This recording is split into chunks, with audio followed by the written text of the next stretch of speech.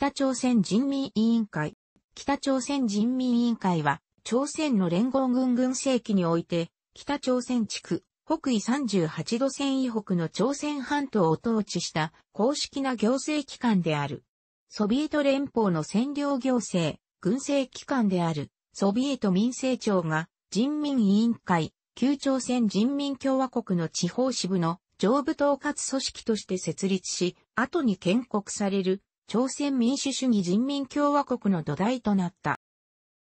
1945年8月15日の玉音放送後、南北朝鮮では行政区分の各級において、朝鮮人による行政機構の掌握が自発的に行われた。特に朝鮮建国準備委員会、県準は組織的に活動し、8月末までに145の支部を全国各地に設置した。県順は9月6日に朝鮮人民共和国の建国を宣言し、京城府の本部を中央人民委員会へ、地方の支部を人民委員会と解消した。しかし9月8日に朝鮮総督府の降伏を受理したアメリカ軍政当局は朝鮮人民共和国の政府承認を拒否し、社会主義的成功を嫌って南朝鮮地区、北緯38度線以南の米軍占領地域、における核、人委員会を解散させ、朝鮮総督府の統治機構を流用した。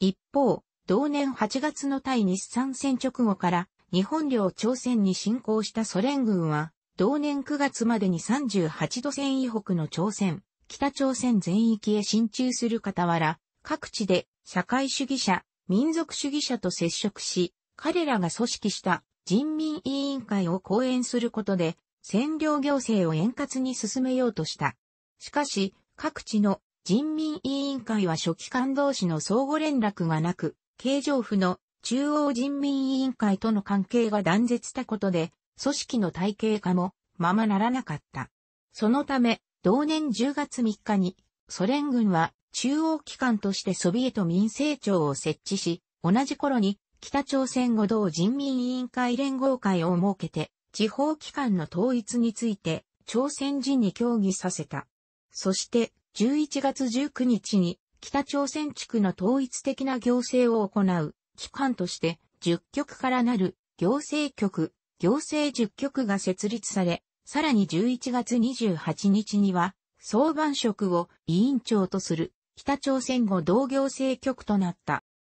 ソ連軍は人民委員会の中央集権化と並行して共産主義系の独立運動組職の法要と主要な新日派人士やソ連軍政に非協力的な民族主義者の弾劾、粛清も進めた。日本政府がポツダム宣言の受諾を宣言した時点、1945年8月15日で、朝鮮には朝鮮人による独自の共産党組織があった。しかしソ連は東ヨーロッパの衛星国に対して取った方針を踏襲し、第二次世界大戦期をソ連で過ごした朝鮮人の共産党員に好んで権力を与える方針を持っていた。そのため、ソ連軍政当局は1930年代にソ連へ亡命していた近日清の旧東北抗日、連根軍一派、後の満派を徐々に徴用し、朝鮮国内派、鉱山派、南老党派や中国派といった他の共産主義分派たちを、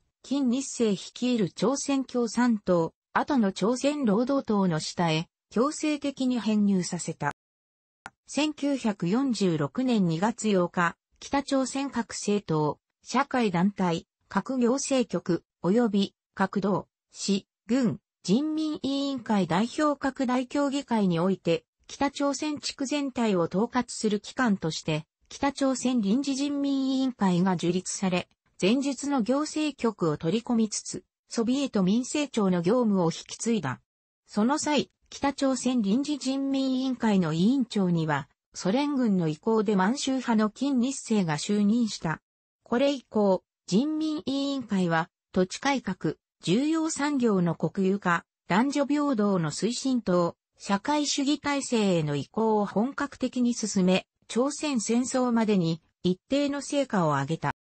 その一方で、北朝鮮臨時人民委員会は、立法組織と行政組織が並存しており、政府として未熟な面があった。そのため、北朝鮮臨時人民委員会は1946年11月3日に立法府の議員を決める総選挙を見し、1947年2月20日に立法組織として北朝鮮人民会議を新設した。同時に臨時人民委員会の行政組織については行政府の北朝鮮人民委員会として再編成することにし、正式な政府体制が発足した。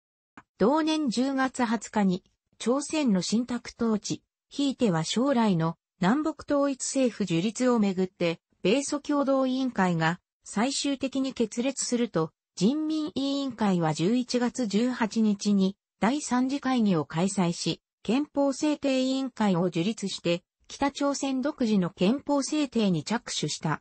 1948年5月10日に南朝鮮単独総選挙が強行されると、北朝鮮人民委員会は、南側単独の新政府に対抗する別個の政府樹立を急いだ。同年8月25日、南北朝鮮を対象とした大議員選挙合を行って最高人民会議を設立し、9月3日には朝鮮民主主義人民共和国憲法を公式採択。9月8日には従来の対極期に代わる新国旗を制定し、9月9日の朝鮮民主主義人民共和国の建国を迎えた。建国とともに北朝鮮人民委員会は、金日成を主犯とする人民共和国政府、今日の北朝鮮政府となり、発展的に消滅した。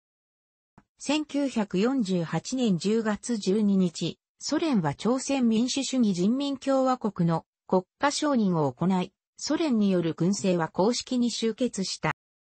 北朝鮮人民委員会委員長は人民会議により選出され、委員会の各局部長は人民委員会の定義により人民会議で決定された。